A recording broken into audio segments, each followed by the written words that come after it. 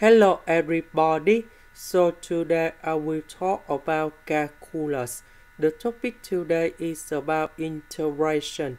So now I will show you how to answer.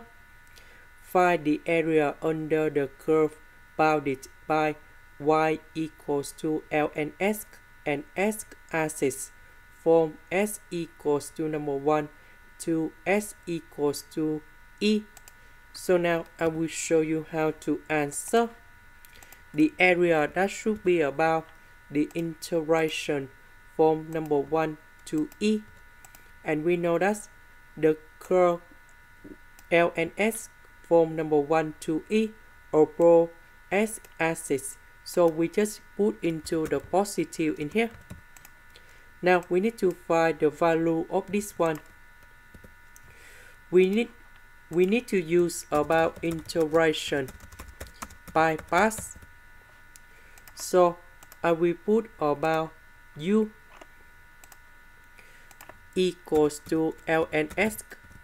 so if I do first derivative for the both sides you got about the u equals to the ds over s dv we got about the s the integration of this one you got about v equals to s.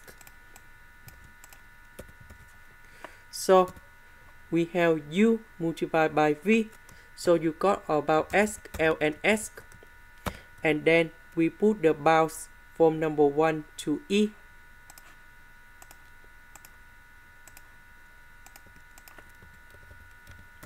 Minus we have the integration from 1 to e.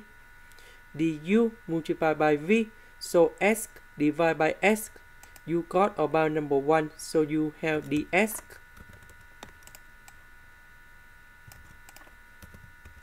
so for this one you got about s and we put the bounds from 1 to e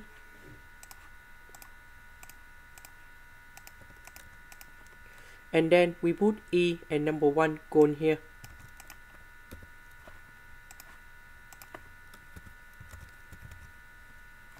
So I will put E cone here, E cone here. Number one cone here, number one cone here.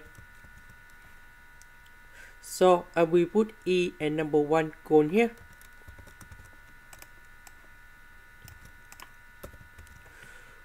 ln number one you got about zero.